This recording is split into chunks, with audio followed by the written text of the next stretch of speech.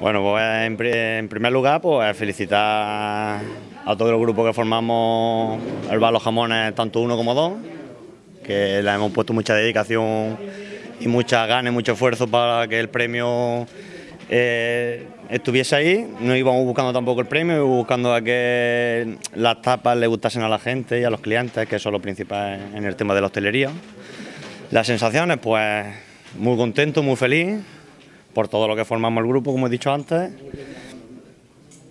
No puedo decir otra cosa que, que vamos a seguir trabajando, que vamos a seguir innovando y que esto es un premio al reconocimiento del esfuerzo de cada persona. Describiendo la etapa. Pues la etapa se pasaba en dos, en dos componentes, ¿vale? el primer eran dos tostas, ¿vale? Dos pinchos.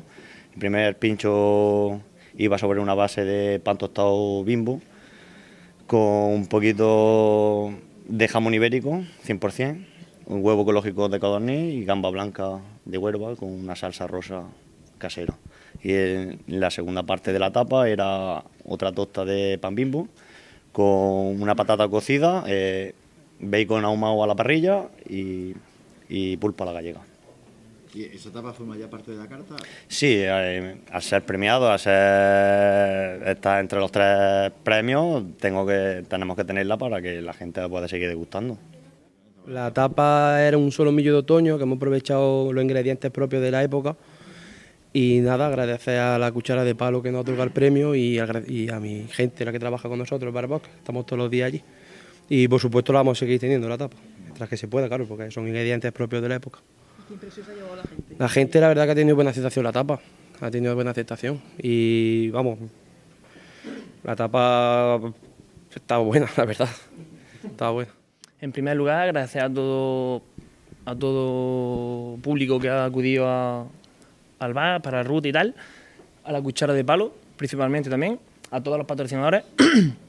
y nada, que ha sido el primer año que, que he cursado, ya que llevo un poquito abierto. Ha tenido buena aceptación la tapa y muy bien, le ha gustado a la gente. ¿Cómo se llama la tapa? Es explosión, explosión esférica de queso con parmesano. Es una bolita de queso que lleva almendra, vinagre balsámico, azúcar glass y mm, un crujiente parmesano. Una... Y nada, muy, muy bien, muy contento. De... del concepto que hay de las tapas grandes de Linares. Sí, sí, una tapita más elaborada, una tapita más elaborada, un poquillo, un poquito más gourmet y tal. Y se va fuera de lo que es la típica tapa de Linares, fuera de la norma, de verdad.